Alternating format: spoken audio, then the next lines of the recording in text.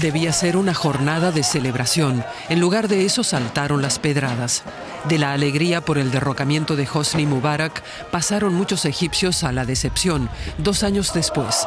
Vuelven a manifestarse en la plaza de Tahrir al grito de libertad, libertad.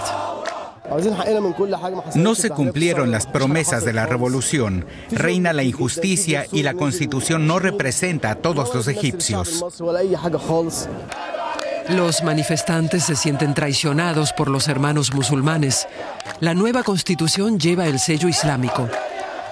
Es una democracia solo de apariencia, denuncian los opositores a Mohamed Mursi.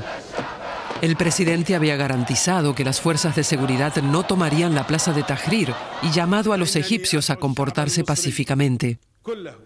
Pero los manifestantes no quieren ceder. Permanecerán acampados en la plaza de Tahrir. Dos años después de las revueltas en Egipto, sigue sin haberse restablecido la calma.